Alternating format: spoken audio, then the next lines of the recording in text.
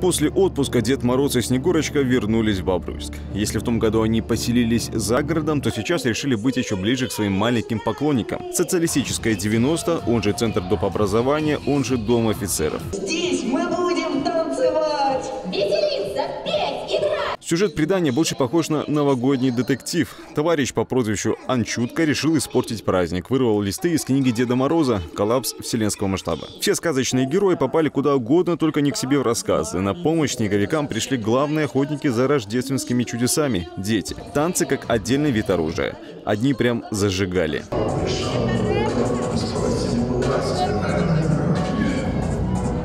Другие, как настоящие леди, предпочитают более сдержанные движения.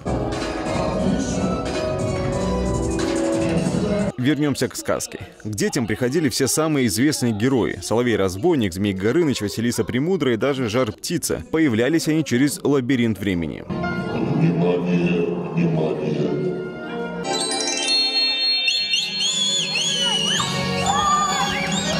Листаем дальше страницы новогоднего детектива. Под конец появляются Дед Мороз и Снегурочка. Вот они-то и помогли восстановить книгу сказок. Добро вновь победило зло. А все герои и ребята стали водить хоровод вокруг красавицы елки.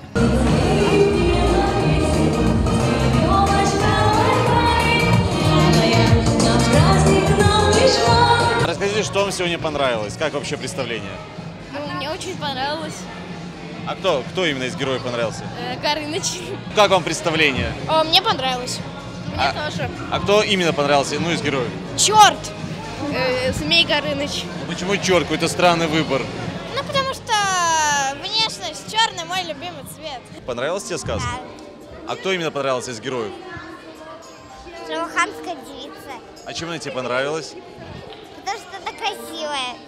Дедушка Мороз, Снегурочка, не устали вот каждый год поздравлять детей, дарить подарки? Нет, потому что наступающий Новый год – это праздник не только для детей, но и для их родителей, и для нас.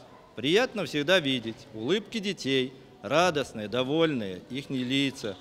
В глазах радость, счастье, улыбки на лицах родителей, дедушек, бабушек. Маленьких гостей и их родителей ждала не только сказка. Мастерская Деда Мороза научила ребят своими руками вырезать снежинки и делать мягкие игрушки. Ребята смогли посетить контактный зоопарк, покормить животных. Кто-то не побоялся, вошел в клетку и попробовал погладить даже диких животных.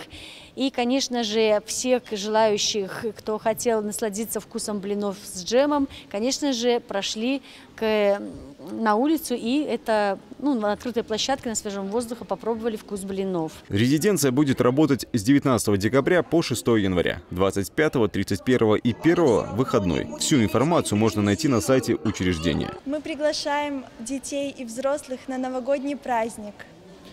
в городскую резиденцию Деда Мороза по адресу улица Социалистическая, 90.